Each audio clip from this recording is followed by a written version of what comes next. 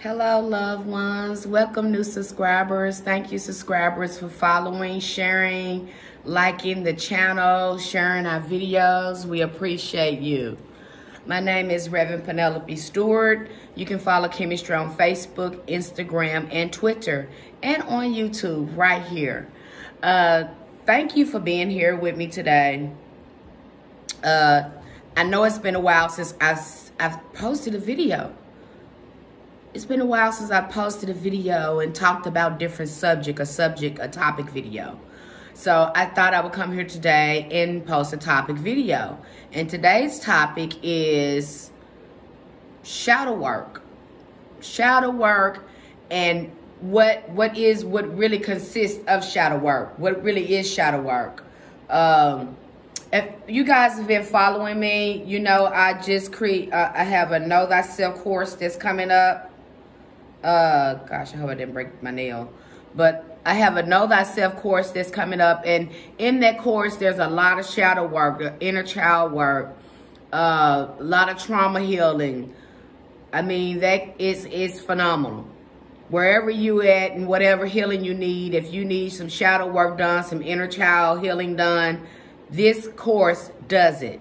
The exercises and the workshops inside the course are just i mean it's it has been great in helping me on my spiritual journey and having a closer walk with spirit. So uh, I should have a video there with the link. If you're interested in the course, you, you're welcome to sign up. There should be a link there to register. I have some workshops coming up and I'll leave some links to those workshops. Have one coming up Thursday. And then I have one coming up February 2nd to give you a little bit more insight about what the Know Thyself course is all about if you're interested in that. But I thought I would come here and talk about shadow work because I'm learning so much. I'm healing so much trauma in doing the shadow work. And and now that I'm looking at it and looking at initiations this is really what they require in initiations if you're going into Ifa, um, if you're going into Voodoo. This is the work that is required. I mean, this is character work. This is deep work, getting into your thoughts, knowing more about yourself and your family, and healing those ancestors that transfer some of that intergenerational trauma. And some of it we don't even realize. It's, it's just unconscious. You know, it's not till we start looking at the family tree, a lot of this stuff starts to come out. And in the Know Thyself course, we go, you know, that coaching uh, program, we go really, really deep into family uh, psychogenealogy. We go really deep into that, looking at the family tree and looking at the behaviors and attitudes of the people in the family. Then transmuting that trauma. And it's work, uh, you know, it doesn't happen overnight because it took you a lifetime to get this. And some of it is just impulsive. It's just coded in the DNA and it needs to be integrated. So there, there's, there's a lot, there's some integration going on there. There's a lot of healing going on there. Um, but it's well worth it because behind the trauma, I'm seeing a lot of gifts come out of the trauma when I start to transmute it and transform it, I'm seeing a lot of gifts come out of it. You know, it's not looking so ugly. You know, th the perfect example of this is the soul path to the Orisha. You know, talking to those ancestors and revealing some of that stuff and telling the story. You know, uh, I just cannot put it all into words. But shadow work is, it is a must on your spiritual journey. Not, and I, am surprised a lot of uh, spiritualists are not talking about this. They talk about the candle work and all this other stuff. But this is where the real work is. This is where the real power comes in, right there, uh, working with the ancestors. And I'm just going to talk about shadow work, and focusing right now on psychogenealogy because a lot of what the programs that you see in shadow work, we get them from our families. Someone taught you to do be that because once you get in the shadow work, you be like, okay, why do I do this and why do I do that? And that's gonna lead you back to your family tree to get some of that stuff out. So let me just dive in here. I got my reading glasses on today. I need my reading glasses, y'all. I'm get, I'm starting not, not to be able to see well. So I got my reading glasses on here. Uh, let me clean them off. So I'm going to dive in here. A family tree is more than just a drawing or a collection of names, dates, and family history. It can be a powerful tool for understanding and healing the person's circumstances and problems. Psychogenealogy, psychogenealogy on the premises that the unconscious behaviors can be transmuted from generation to generation, and they can. These behaviors prohibit the self-realization of the individual. For an individual to be aware of these and break the cycle, he or she has to study the family tree.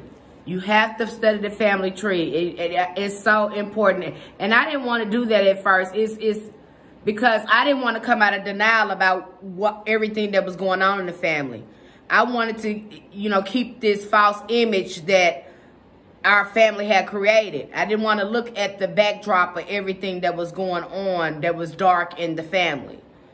And that's something that's a requirement to do uh, in order to heal some of that trauma that's going on in the family.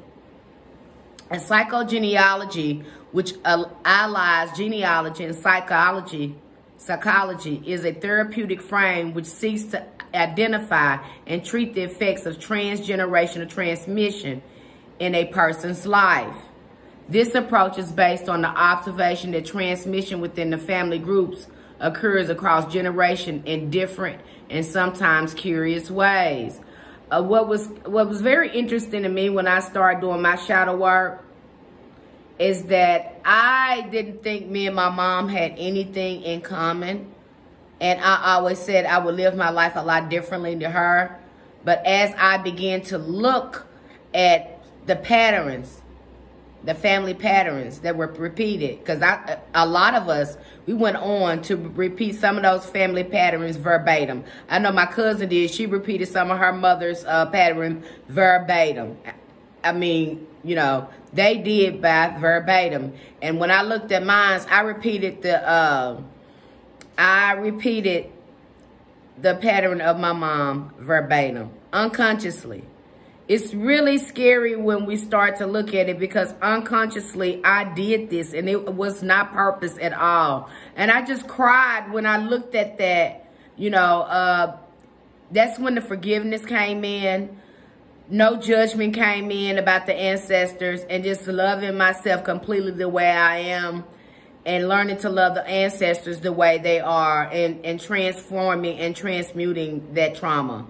I mean, it was just, it's a profound experience when we think that we're so much different from them, uh, especially the ones who have uh, made some mistakes in our family. When we actually start looking at the family patterns, we realize we have some of those behaviors and transmissions as well. You know, it, it was pitiful. I, I, I, I was just, I cried. And I still cry sometimes. But on the other side of this trauma,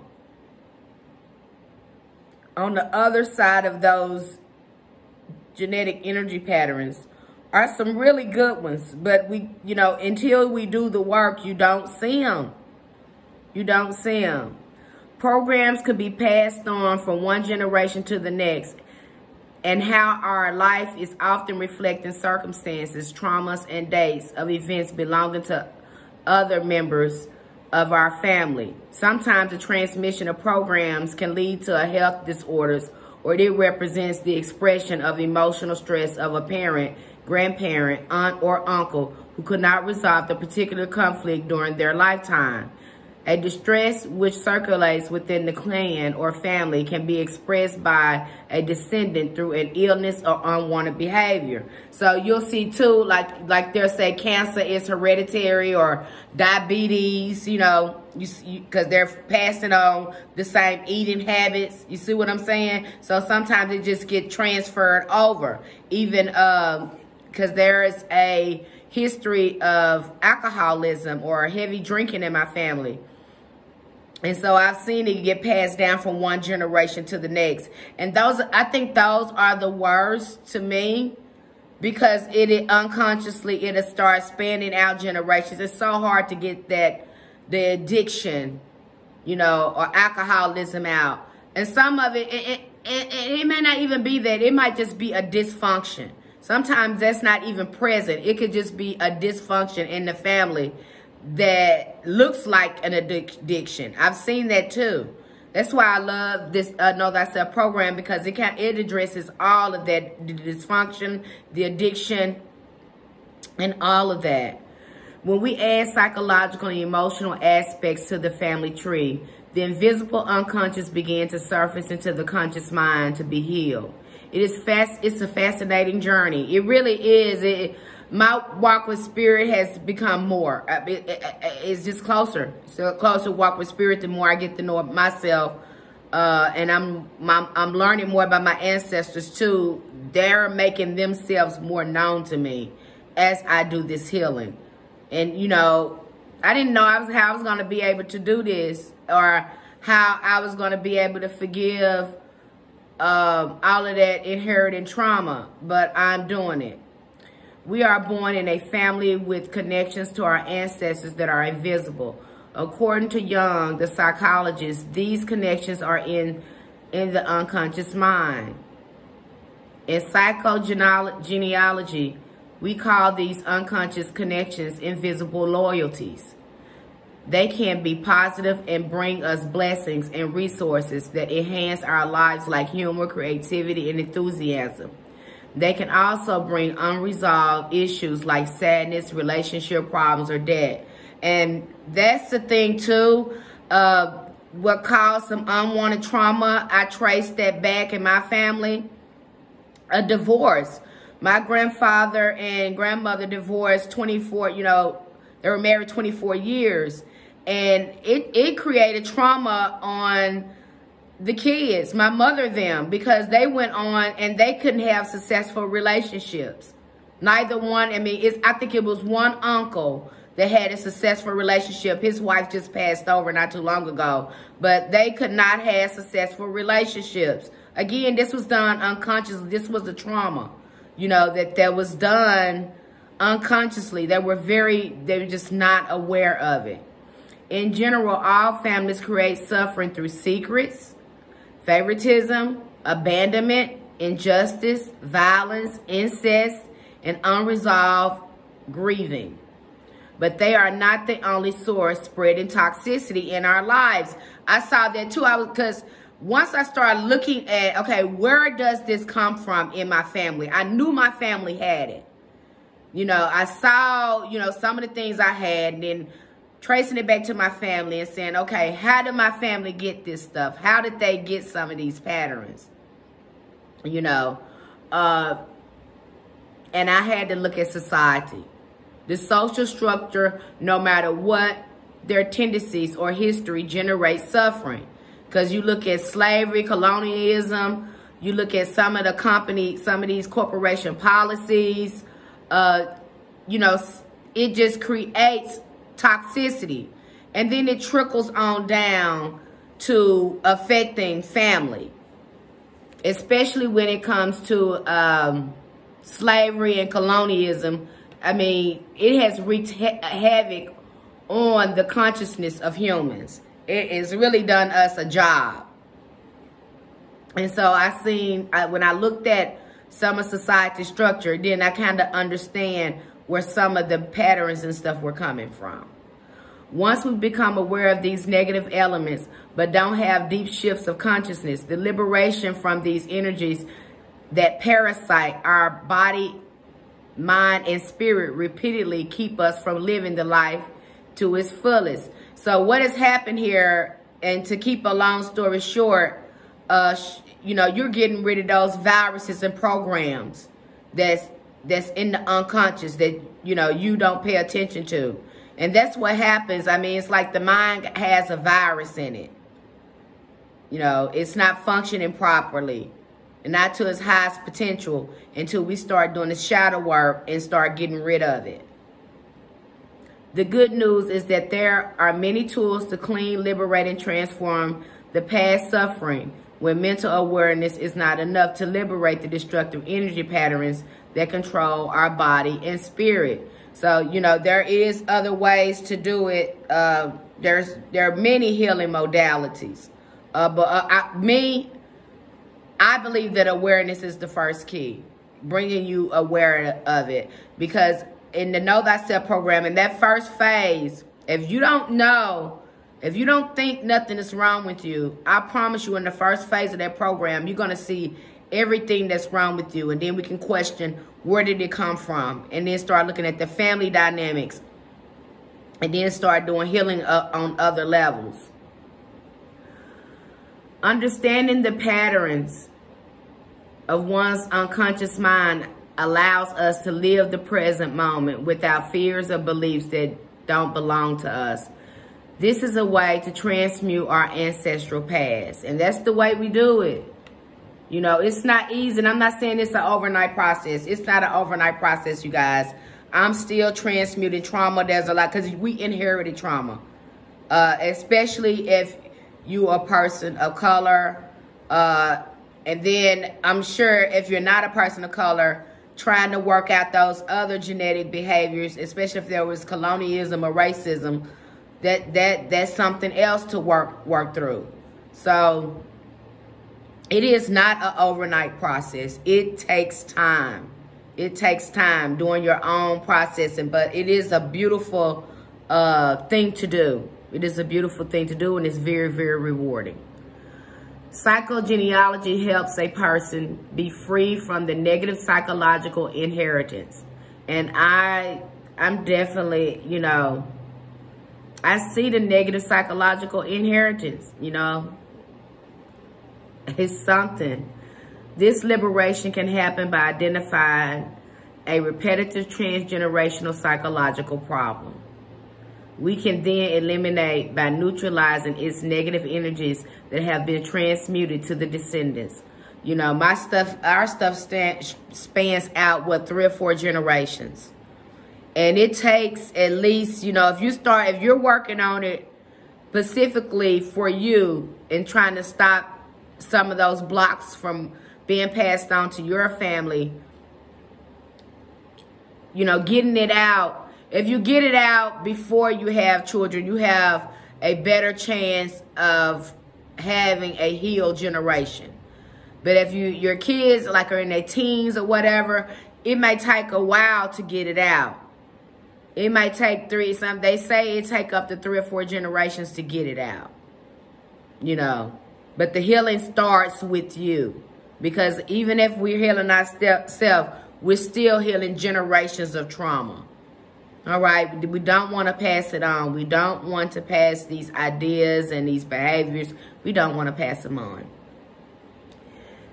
In Jungian psychology, the shadow archetype may refer to an unconscious aspect of the personality which the conscious ego does not identify as itself. You know, that that that is really what um, shadow work is all about.